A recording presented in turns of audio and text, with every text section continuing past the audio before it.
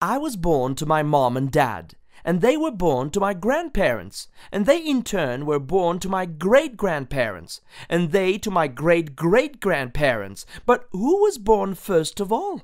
Or, in other words, who was the first human being? People have wondered about this since ancient times, and they have come up with many answers. According to Chinese mythology, it was the goddess Nuwa who created hundreds of humans by molding them out of clay. Those whom she had shaped slowly and carefully became the nobles, and those who had been created sloppily and hurriedly became common men and women. People on an island in the South Pacific believe that the father of all men was Vatea, who was created when a goddess detached a piece of flesh from her right side. The Jewish and Christian religions hold that it was Eve, the first woman, who was born from the side of Adam, the first man. It is interesting to know what these cultures, which created these stories long ago, have to say about the origin of man. Today, though, we explain things a little bit differently, from the study of ancient remains found deep within the earth. Scientists who study these matters, such as paleontologists, base their discoveries on the bones of people who lived very long ago. They have noticed that not all bones are equally old, and some places have older bones than other places. The oldest remains are those found in Africa, which means that it was here where the first human beings lived. Scientists have also noticed that the oldest bones look less and less like the human beings of today. Why? In the course of his journeys, naturalist Charles Darwin found the remains of ancient animals that were very different from modern ones, but that at the same time looked like they could have been their relatives. Could it be that this Glyptodon was something like the armadillo's great grandparent? and this 11,000 year old Scelidotherium a sloth's great great grandparent? Darwin hypothesized that species haven't been the same all the time, but that they have changed. This idea is called the theory of evolution. And everything so far indicates that he was right. And even more, this theory fits all the changes seen in animals, plants, and human beings too.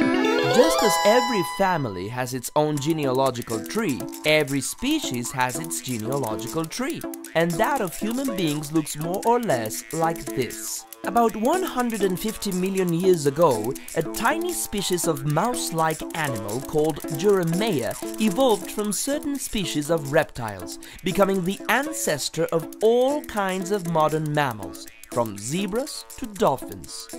One of these types of mammals is the primates, which includes monkeys and apes. By the way, the word primate means, did you guess? Cousin.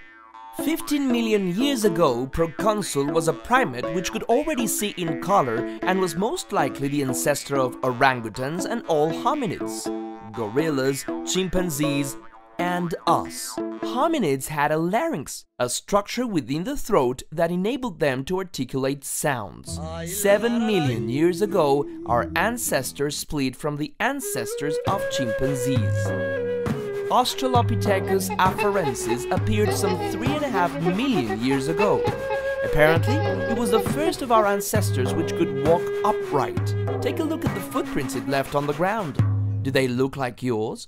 This is Lucy, an Australopithecus that has been reconstructed from remains found in Ethiopia, Africa.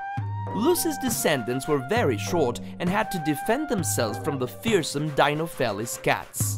The first Homo, direct relatives of humans, Homo habilis and Homo erectus, were descended from Australopithecus.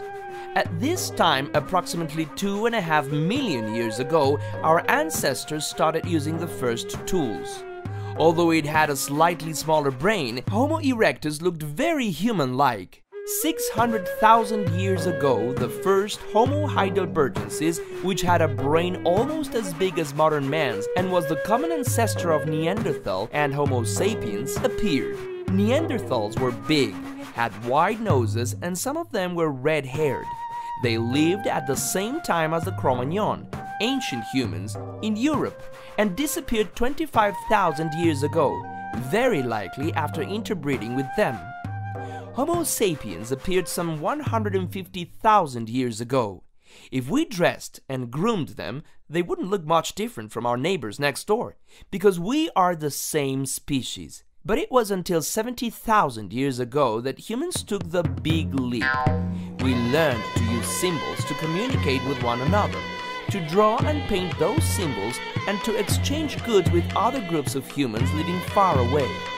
It was at this time when we invented culture that many think we became truly human. It's difficult to determine who the first true human being was.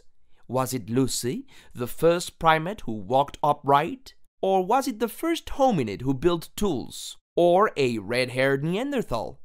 It all depends on how we define human being. On the other hand, thanks to the advances in genetics, it sounds reasonable to say that humankind's most recent grandmother lived some 160,000 years ago in Africa. She is known as mitochondrial Eve, and she probably didn't live alone, but in a community with many other people. It was her children, and her children's children, and the children of her children's children who survived. From all this, we can conclude that all human beings, no matter where we're from, are cousins. Think about it. Curiosamente. Please subscribe to this channel and leave us your comments.